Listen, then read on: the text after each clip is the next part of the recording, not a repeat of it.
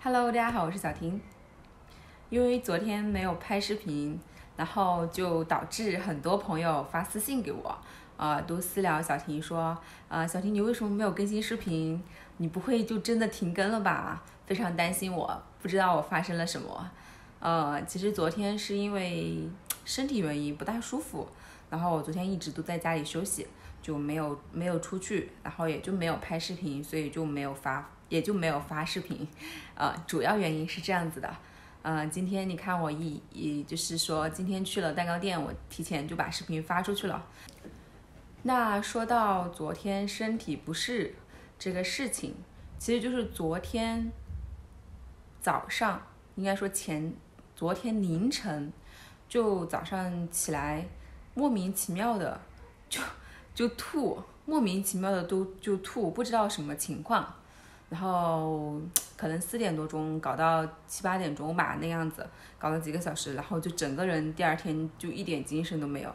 但是第二天又不吐了，也也就没有其他什么反应了，我就没有去医院，然后就在家休息，所以就基本上在家整整个人一天都是在家休息。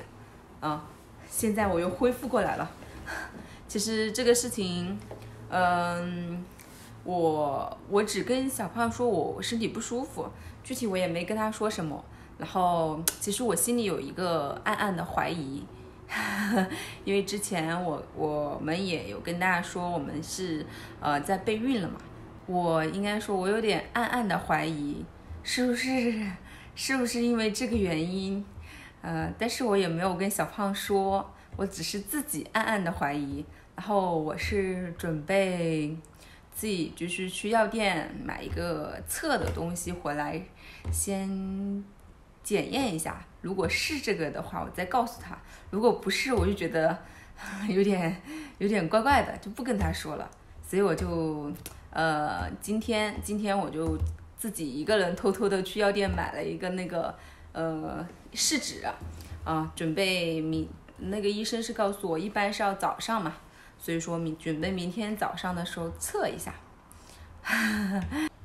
因为最近小胖也比较忙。其实昨天凌晨我就是，呃，去厕所吐啊，他其实都已经累趴下，他都没没怎么感受到我可能那个，所以我也没跟他去具体讨论这个事情。然后他早上也就走了，我就跟他说我今天不舒服，我就暂时不去店里，我就在家休息了一天。然后他也就说好吧，那你就在家休息呗。他也不问我太多，而且他最近也太忙了，也没时间管我。所以就像拍视频什么的这些事情都没有，都不会管我，所以都是我自己管我自己。